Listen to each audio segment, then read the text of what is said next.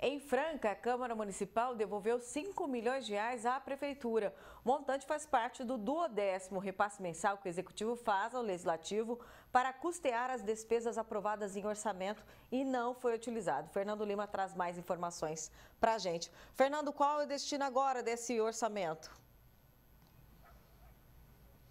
A maior parte para a saúde, viu, Ximenes? Segundo a Câmara Municipal, 2 milhões de reais serão destinados para a compra de equipamentos das unidades básicas de saúde do Sítio Petrópolis e também do São Domingos. Ambas ficam na zona norte daqui de Franca e também para a compra de equipamentos da UBS do Jardim Paraty, já na zona sul da cidade. Essas unidades elas ainda estão sendo construídas e devem ser entregues para a população no ano que vem, em 2024. Outros 2 milhões serão encaminhados para a realização de exames, como ultrassom, tomografia, mamografia, ressonância magnética e também para retirada de catéter. O restante, Ximene, cerca de um milhão de reais, eles serão revertidos para o recapeamento de diversas vias em todas as regiões aqui de Franca.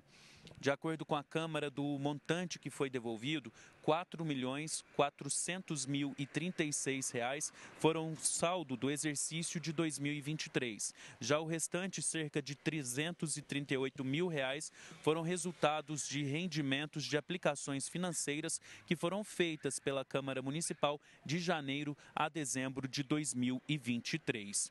O presidente da Casa de Leis daqui de Franca afirmou que eles chegaram a todas essas conclusões em reuniões com os vereadores e também com a Prefeitura de Franca. Foi tudo em comum acordo. Portanto, Ximene, mais de 4 milhões para a saúde aqui da cidade e cerca de 1 milhão para o recapeamento das vias aqui do município. Ximene. É o zelo com o dinheiro público, né, Fernando? O nosso dinheiro. E a população tem que ficar de olho para ver se isso está sendo bem aplicado. Obrigada, boa noite.